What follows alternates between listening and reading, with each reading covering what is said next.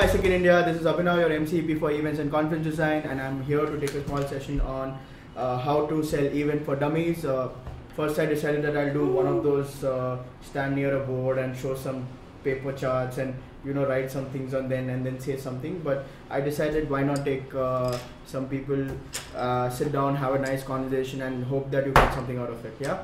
So today uh, with me I have two very special people.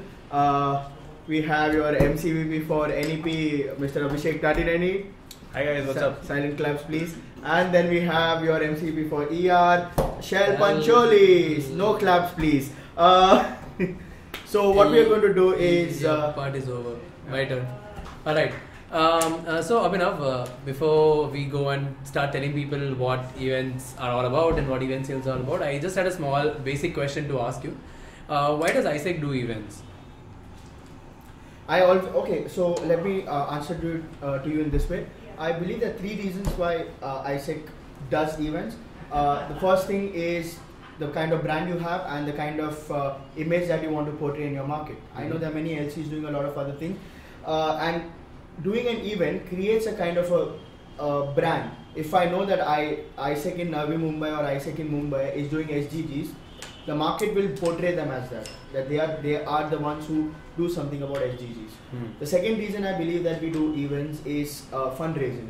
Uh, it always gives us some money uh, to handle some operations, uh, to do some extra things that we want to do with our LC. And the third thing is member experience. Uh, in AIESEC, which is a very unique thing that we do, is we make sure that our members go to an experience of devel- delivering an event. And in a world where events have become a prime uh, activity because it brings a lot of people together, I believe that giving this experience to members uh, is uh, very important at AIESEC. And yeah, I hope that answers your question.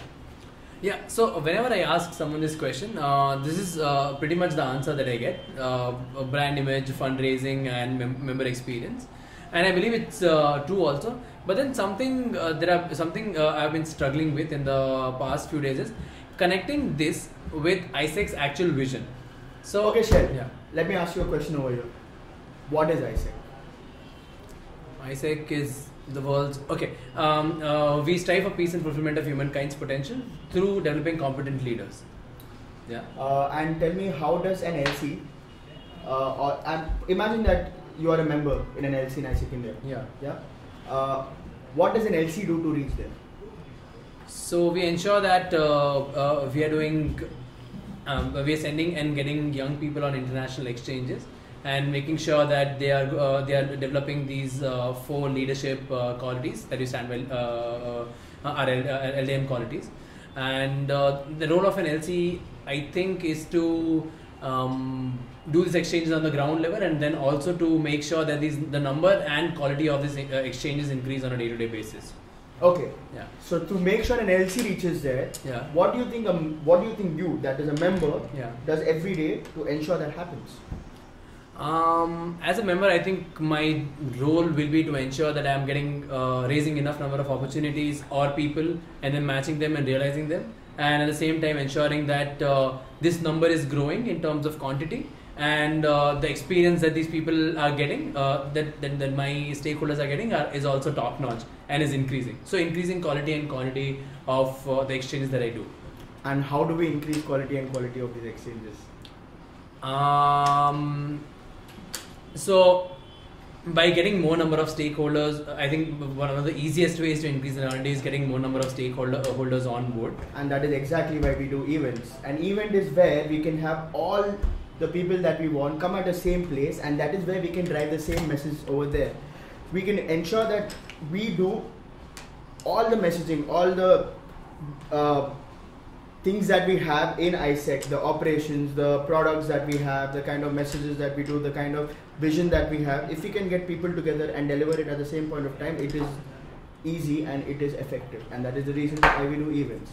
Oh. And that is how it is, and that is how we can Okay. uh, uh, take AIESEC's message and share it across them. So, yeah. oh. But I mean, Okay. I've, been, wondering um, when we talk about the vision of AIESEC and we talk about everything that we need to do, and AIESEC has to support it somehow.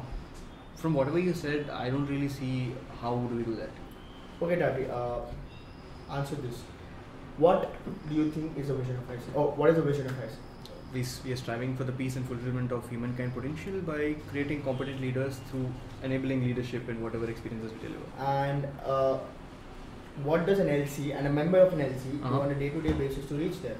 So, I mean, I think it's simple. I mean, we have to do exchanges and we need to uh, do more and more exchanges, and we also need to keep in mind that the quality of the exchanges is also good uh, by reaching out to probably the right crowd. And uh, yeah, I think that, I think something on the, those Okay. lines. Good. Com- coming from a non- non-operational background, you were bang on. Uh, and my next question is, how do we improve Uh-huh. the quality and the quantity of the products that we deliver? Okay. Um, mm, from what I can think, um, from what I can understand, if you want to increase the quantity, obviously, logically, you need to reach out to more people. When you want to increase the quality, you need to reach to the right people who would be able to benefit from the product and uh, mm, probably would add, add value also uh, to AIESEC at the same time. So you said two main keywords that I took from you. There are more people and the right people, and this is what we get in an event. An Ah. event is a place where the more people and the right people come at the same place, and we s- we deliver a message of what our vision is. Mm. And now you understand how the vision of Mm. AIESEC is somehow makes sense uh, with an event and why Right. we do an event. Yeah. do that. So yeah, okay. Uh, thank you, uh, and uh, it was a nice uh, banter that we had. Yeah. Uh, what I want to do right now is use your expertise since you Mm. both are, have uh, been in sales backgrounds. I want to understand from you guys. Uh, Mhm. So in an event, uh, Right. there is uh, two two kinds of objectives. One is an internal objective and one is an external objective. Definitely. The external objective is definitely telling, uh, definitely the kind of marketing you do, the kind of brand you uh, portray Mm. uh, to the network, and the internal objectives uh, involve fundraising, uh, and that is the aspect that I want to talk today. Yeah? Right.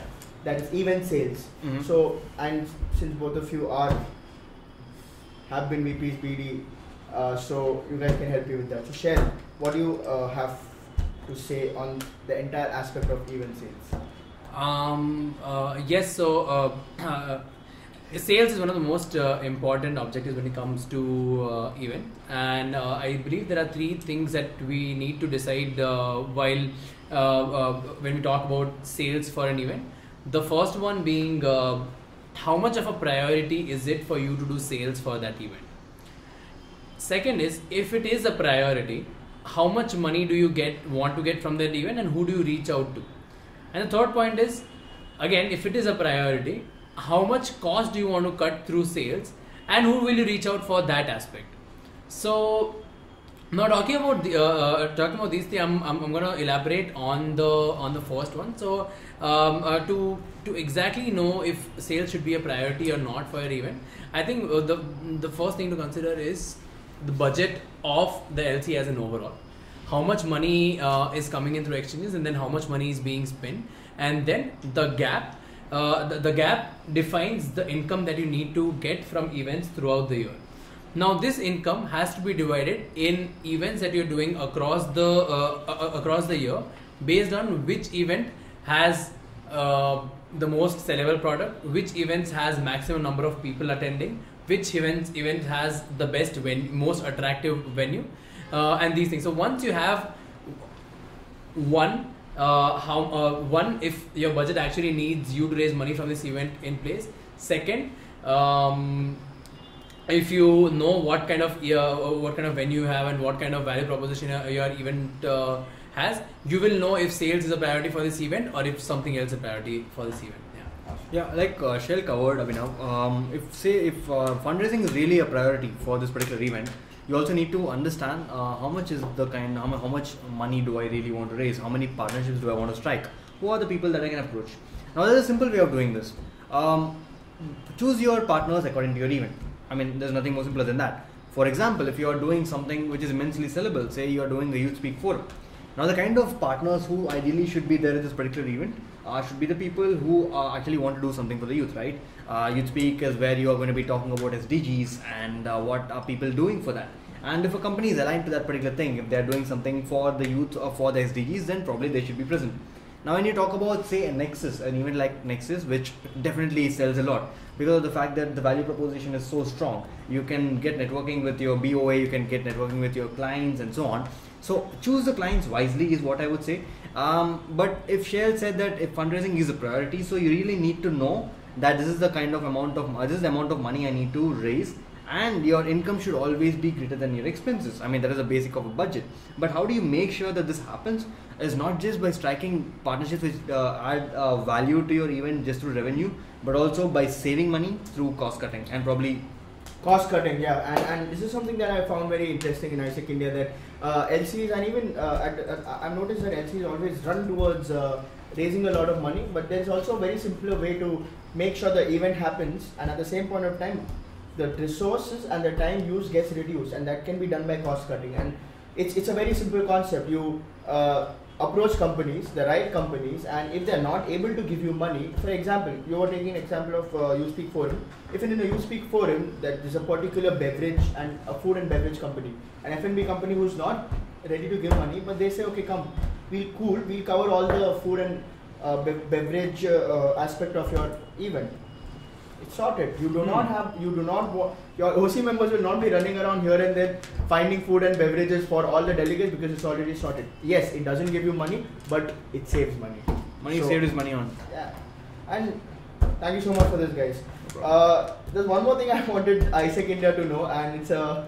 It's, it's something that I've been since uh, Shail is my roommate. He keeps talking about it every day. Mhm. uh, and he keeps on funnily referring it to the chicken and egg rule, or uh, as we call it in BD terms, the proposal and the venue rule. So, Shail, do you want to tell AIESEC India about that?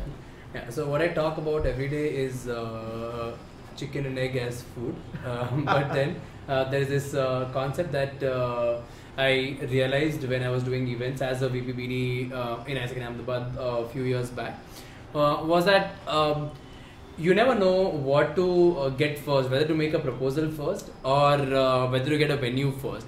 And there's always this question of if I get my uh, if, uh, only if I get my venue, I can put it in the proposal and then I can make proposal and start selling.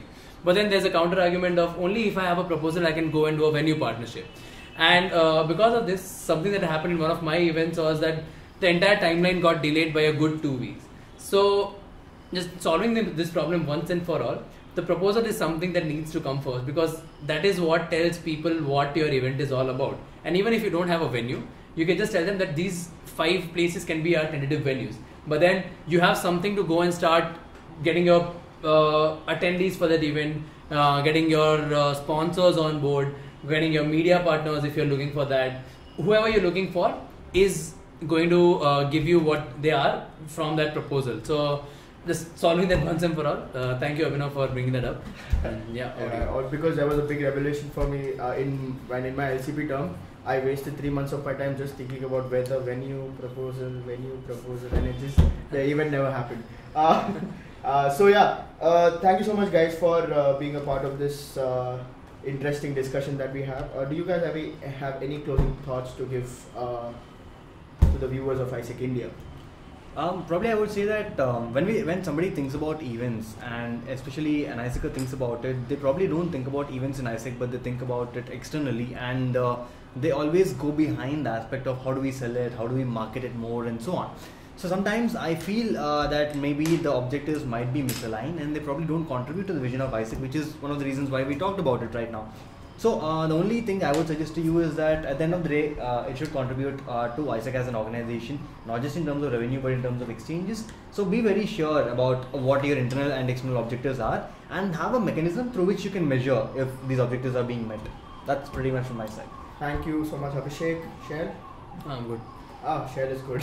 okay, guys. So uh, it's pretty simple. Uh, I know that uh, Abhishek and uh, Shail have already covered you the basics of how to sell.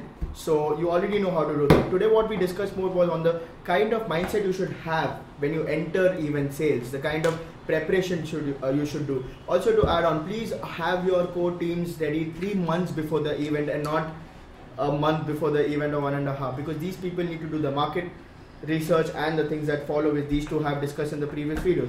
Uh, thank you for uh, uh, sparing your time to, uh, to watch this video. Uh, it was really fun having this conversation with uh, both of you boys. Uh, and uh, before we end, I have a very, very, very important question to ask the both of you. It, it's I Very know, important. I know, I know, I know. who drank the milk today? I really needed it.